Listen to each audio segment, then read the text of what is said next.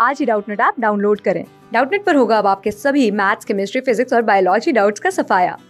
बस अपने क्वेश्चन की फ़ोटो खींचो, उसे क्रॉप करो और तुरंत वीडियो सोल्यूशन पाओ। Download now. Given question is, with which metal, with which metal ions aqueous ammonia react to give deep blue solution? तो जो हमें बताना है कि अमोनिया किससे रिएक्ट करके, किस मेटल से रिएक्ट करके डीप ब्लू सोल्यूशन बनाता है। तो जो सबसे पहले देखिए कि कॉपर कॉपर एकमात्र ऐसा मेटल है कि कॉपर के साथ अमोनिया रिएक्ट करके, जब भी कॉपर रिएक्ट करेगा तो एक्वस फॉर्म में होगा। अमोनिया के साथ जब ये रिएक्ट करेगा तो देखिए अमोनिया भी एक्वस फॉर्म में रिएक्ट करेगा इसके साथ। रिएक्ट करने के बाद बच्चों, एक कॉम्प्लेक्स फॉर्म करते हैं। कॉपर अमोनिया के साथ मिल करके एक कॉम्प्लेक्स फॉर्म करेगा। इस कॉम्प्लेक्स का जो कलर होता है, वही डीप ब्लू कलर हमें ऑब्ज़र्व होता है। ठीक है बच्चों?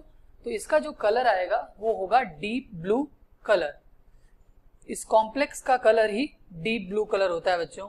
तो ये हो गया deep blue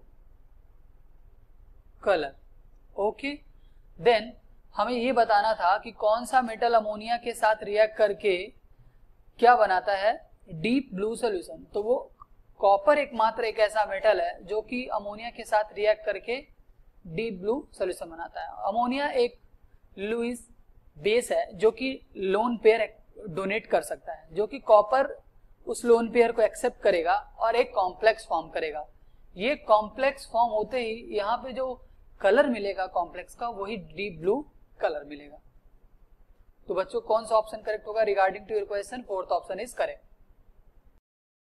class six से ट्वेल्थ से लेके NEET I I T JEE mains और एडवांस के लेवल तक। दस मिलियन से ज़्यादा स्टूडेंट्स का भरोसा।